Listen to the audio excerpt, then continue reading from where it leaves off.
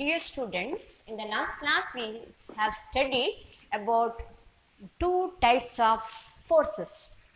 One is contact forces and another type is non-contact forces. And in contact forces, we studied uh, two types. What are contact forces? Forces when they act on the object, they come in contact with the object. There are two types. One is the muscular force when act on the object. It will come in contact with the object and it will do the work. And second type is the frictional force when any object is in motion, if it is on the floor, it will have friction force with the floor and air. If the object is moving in water, it will have frictional force on that object. Frictional force is acted upon the object by the water in the opposite direction. And this frictional force tend to decrease the motion. It is always present whenever there is motion, frictional force present at that moment. Then we studied non-contact forces, right? Under non-contact forces, first one, what we studied about magnetic force. The force exerted by a magnet that is called magnetic force. Without coming in contact, the magnet attracts the iron material. Or when two magnets if you take, it will react with the magnet two force it will show either attractive force or repulsive force with another magnet. When it will show attractive force, when unlike poles of the magnet bring little close to each other without touching, without coming in contact, they attract. South pole and north pole example. And in a magnet also, two magnets, we can see repulsive force when two like poles of the magnet bring together, we observe the repulsive force, the pushing force. Like south pole and south pole, if you bring together, they push or north pole of the magnet, bring another north pole little close, they push each other. So that is the magnetic force, it is non-contact force. Then we studied electrostatic force. That is when uh, some electric charge deposits on object by rubbing that object by some material the charged particle deposit and the material will become the object become charged statically charged material object. It will attract and another object without any charge. An attractive force will be there without if you bring little close it will attract. Without contact it will uh, contact it will attract or and the similar to magnet the, there are two types of charges positive and negative. And if like charges bring together little close they will repel and unlike charges will attract. That is electrostatic force we studied non contact force. And lastly we studied the gravitational force. Any object if you keep it and leave it in air, it comes down due to gravitational force. Without coming in contact, the earth will drag it out down towards itself. That is the gravitational force, right? So these are the uh, contact force and non-contact force we studied in the last class, right children? So today we will learn the last part of the lesson, namely pressure. Have you heard the word pressure children? Is it same pressure and force? So, we will study about pressure. Pressure is quite different from the force. They are not same, but force is needed to apply the pressure. Now, what is pressure? Pressure is nothing but you have seen when a force act on the objects. A particular area, it will interact with the second object. When I will try to close this book. I am applying the force here. So, this much area I will apply the force on the book like this way I will do. So, this is the area when I will use my hand this much area I will apply the force on the second object. So, you come to know that when you apply the force on or when force is applied on the second object, a particular area on which that force is applied, right? Now, this the area on which uh, you apply the force and the force, how they are related and how it is given by the term called pressure. Pressure is nothing but the force exerted by the one object on another object, force exert, uh, exerted by the objects on the unit area, one area, one unit area. So, what is pre pressure? It is the force acting on unit area.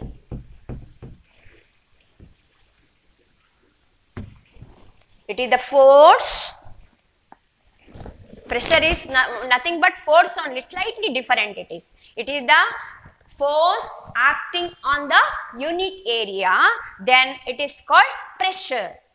So, for pressure you need force to be act on the unit area. Formula is there.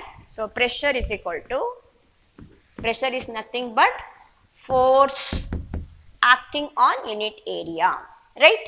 Now, if you want the formula, pressure is equal to force, how much force you will apply divided by area on which it acts.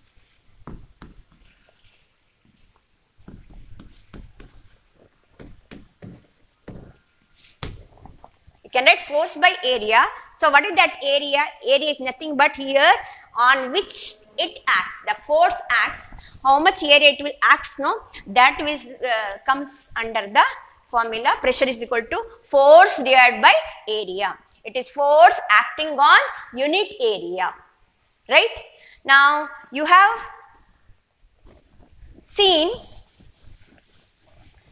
the porters, the workers who will carry the bags to help the passengers in railway station or some other bus stand etc. to carry the bags, the persons will uh, help them to carry on their head. So, when they carry that head, uh, load on their head, the porters, what they will do? They will use a small piece of cloth, they will uh, wound it round and keep it on the head and they will carry easily heavy load your suitcase, heavy suitcase also they can carry easily. Now, how it is? They will do this work, why they will do the, use that cloth? They will keep it on the head to carry that uh, bag why they should do that? Without that can they cannot carry it? They can carry it but it is it will make them pressure more. They will feel difficult here. You can try at home. A heavy bag if you keep it, it is little difficult. It will put much pressure but if you use cloth, wound it round and keep it, it will decrease your um, force acting on your head because when you keep the object on the round cloth, the contact between the force and on your head, it increases, it increases. Because first it is only one particular point may be acting on your head, the force of the bag, but when you keep the cloth, the force of contact of your bag or that heavy object is there no? It will distribute it to longer larger area and the force acting on your head reduces. So easily you can carry it or anyone carry it. Here you have seen the formula pressure is equal to force by area right force by area now area is in denominator if you increase the area it is a fractional form. So, if the denominator is more, the value of this number decreases. So, pressure decreases when area increases. So, by increasing the area, they will increase the area, by that the pressure on their head decreases, so they can carry it, okay. That is the thing. And one more uh, activity I will do to do this, I will show you one more thing.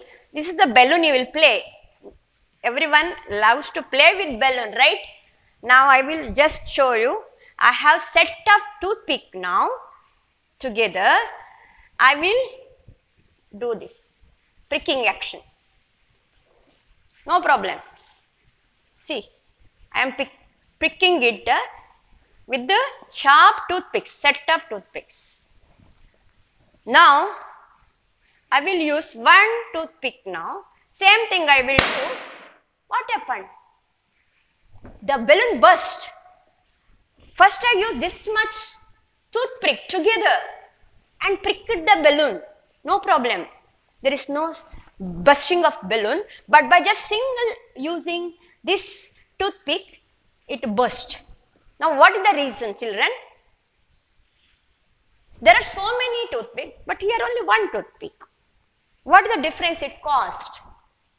Now, if you carefully, when I use set of this toothpick, now what is the area it will comprise together? This much area, this much area, almost this much area. But what is the area of that single toothpick? What is the area of this single toothpick? See the tip, little point it is so small. Now that will make much difference. Now in the first set, the area is much more. So when I apply the force on the balloon divided by larger area, pressure on the balloon is uh, less. If area is more, pressure is less. So press, there is no much pressure on the balloon. So it will not burst. But in second case, when I use single toothpick, the area of here, the pointed area, the area is so small that same force when I apply, this number become by divided by small number, the pressure value is more, it results in bursting of the balloon. Okay, so that is one thing. And same thing you have seen the nail, how they will use, while uh, they will insert in wooden or wall, they will use nail. Okay. Now what they, how, which, they, this is the head part of the nail, this is the sharp edge. Which edge they will use to hit it?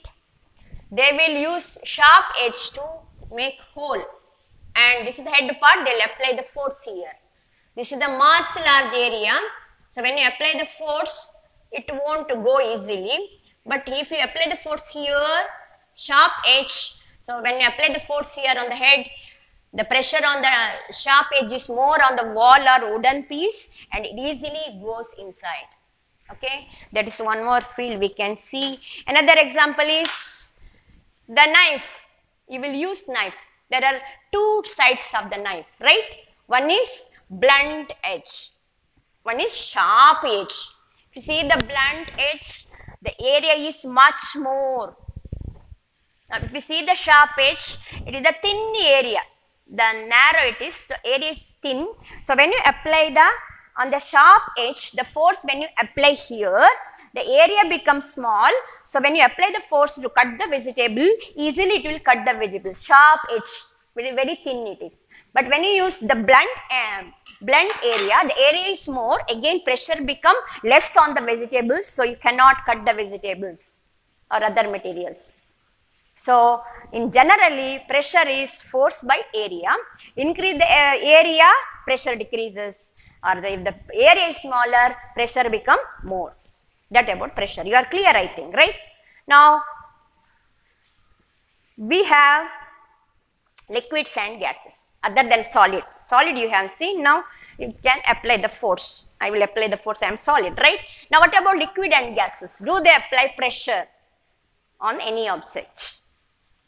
What's your answer? Yes. Answer is yes. They also exert pressure. Now, I'll give some activities. You can try this at home. I won't all the activities. What you will do at home, right? So, you are at home, you can do the activities. To learn that liquids exert pressure, you can do some activities. I will just say what you have to do. Take one, uh, it is there in textbook, activities. Give the page number if you are interested. Try this at home. It is page number, page number 88. Okay, 88 and 89. They are given several activities here which you can try it. Just briefly I will tell what you are to do. Activity 7.8, 9 and 7.10. Page number 88. Activity 7.8, 7.9 and 7.10. This all for children home uh, you can do this activity home activities. So I'll give brief guidance what you have to do. It is just to see the pressure exerted by liquids. Liquids also I said exerts pressure to see that whether they exert pressure or not you can do this one. One is simple take one uh, 25 around 20 to, to 30 centimeter height hollow tube and here you take balloon and tie it tightly at the one edge. Okay? You tie the balloon here or any glass sheet with good quality uh, this one rubber sheet you can use. And when you fill the water here can fill the water here. Okay you fill the water from here.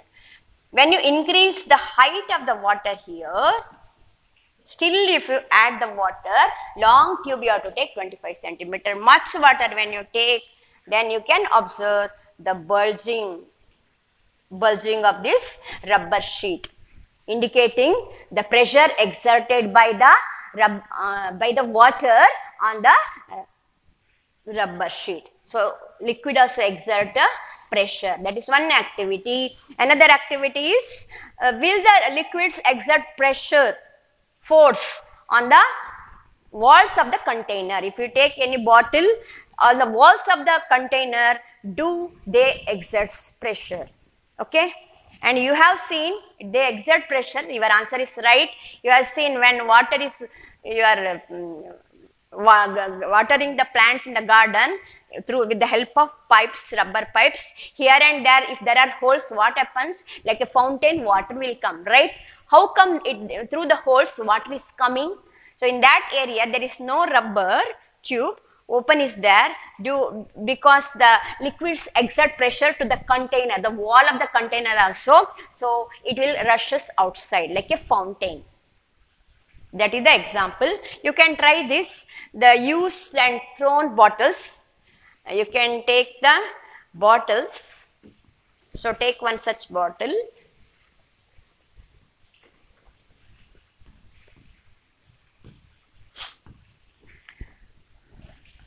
One bottle you can take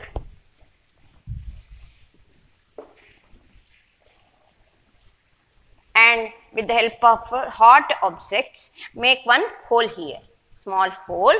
And you have to use either plastic or uh, any glass tube here side. Okay? You can fit the hole of that bottle with the some tube like structure hollow tube like structure. And to this tip small tube is enough. And to this tube one rubber balloon also you can tie okay. And when you fill this one with water it bulges.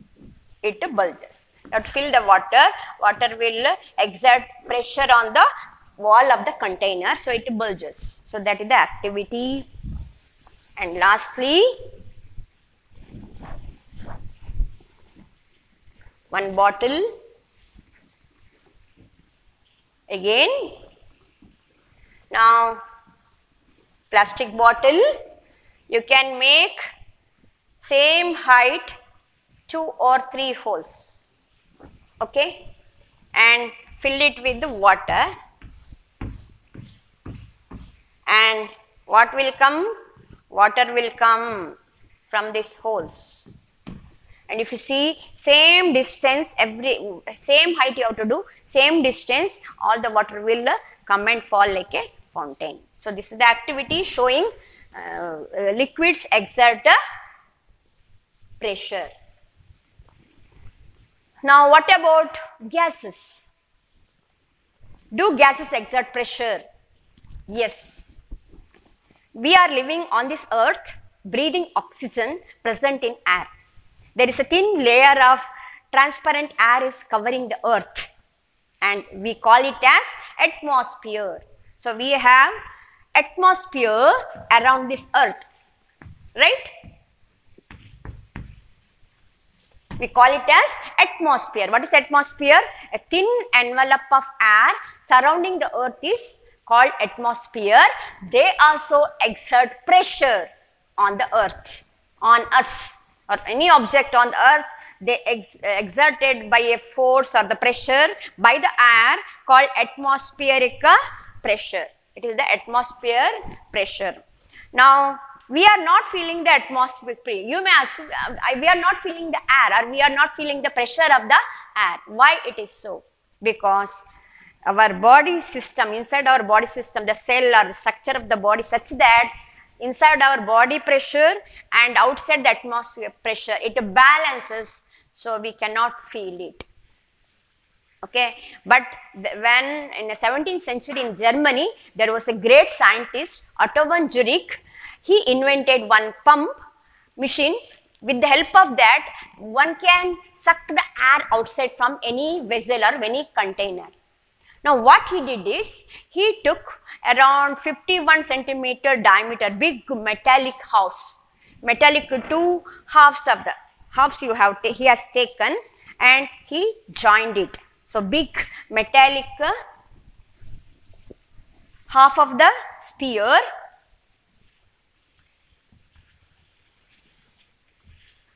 here one and here one like a sphere he did.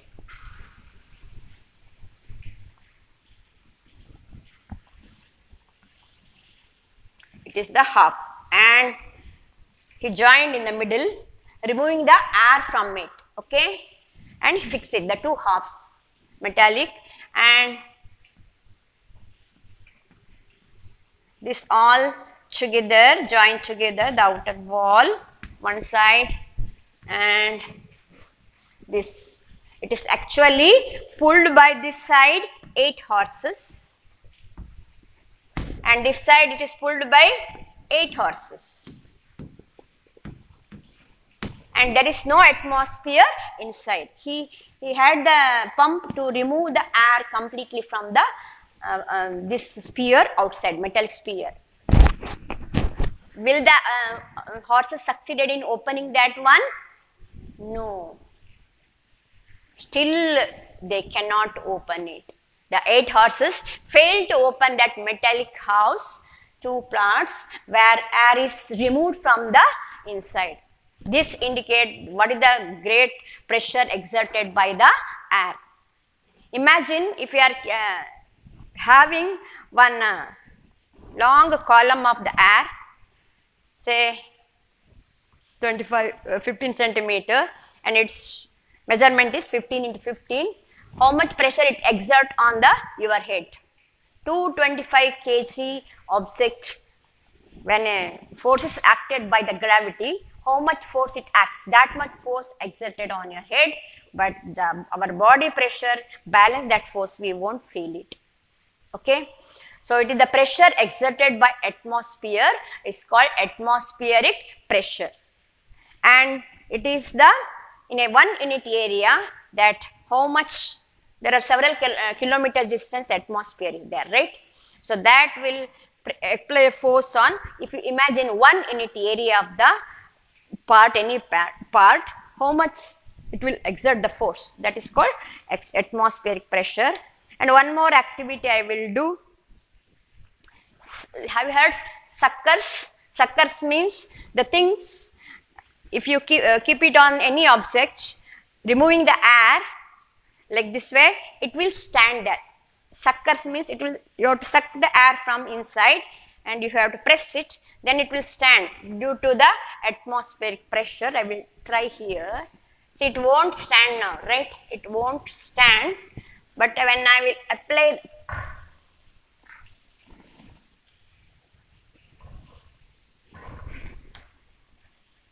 it will stand. Can you see? I have removed the air. Now atmosphere pressure pushing it so it is standing. It is called sucker. There is no such things. It won't stand actually, but when see it won't stand. Can you see? Can you see? But when when I press this like this way, the air from the this some air will go outside. It uh, comes outside, and this side air from the atmosphere it uh, pushes. Okay, and when you pull it, it falls down. Got it? Once again. See, it will stand. Then if air goes here, or if I apply the force, it comes. That is called suckers. How it is possible? When I press it, the air from the inside escapes out. And on the wall of the suckers, air apply the pr- pressure, atmospheric pressure is applied and it will not fall, it will stay there. And you have to apply the force to overcome that atmospheric pressure and pull it. Then only you will succeed.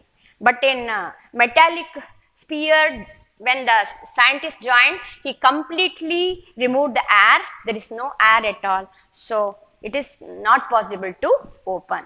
That about tells about the pressure exerted by the air. So that is the end of the chapter. Pressure is nothing but force uh, acting on unit area. Liquid, solids, everything exerts pressure.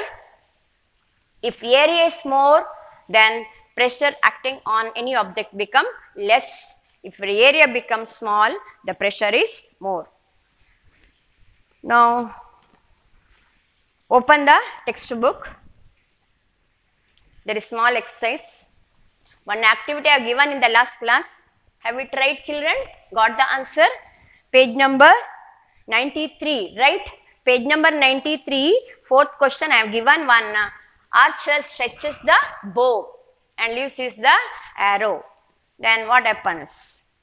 The stretch, to stretch the bow, the archer applies a force that causes change in its uh, shape or motion. When he stretches, what will change? Shape will uh, change. The force applied by the archer to stretch the bow is an example of which force? It is an example of which force? Contact force or non-contact force? Contact force, yes. See, the type of force responsible for a change in the state of motion of the arrow is an example of which force we have to apply to change that one. Muscular force, right? While the arrow moves toward the target, which are the force acting on it? One is gravity is pulling it down even though arrow is moving forward toward the target. Gra- uh, gravity is always pulling any object in the air, right? And the frictional force of the air. So frictional force and the gravity, two boxes are given, dash and dash are acting. Now, uh, any other question difficult? We'll see. A blacksmith hammers a hot piece of iron while making a tool. Fifth, sixth question, right? How does the force due to hammering affect the piece of iron? When a hot iron piece hammered continuously, what happens? By applying force, it will change its uh, shape, and by that, you can make any shape of the objects. Dear children, few more questions are there, not difficult. I have uh, send you the question answer, you will read it, you will understand and uh, in few days your FA1 is coming and you have to read the textbook as well as exercise. Any type of questions in high school, they may give any type of questions, you should be able to answer. So read the textbook. In science, reading the textbook is very, very important. And end the end of the chapter, there is summary of the lesson is there. That point also important. And read the question answer. Do the activity they are given in textbook. Read it. Today I have given three activities. Do at home. No, do that activity and study well. Okay. We'll learn next chapter, new chapter soon. Thank you.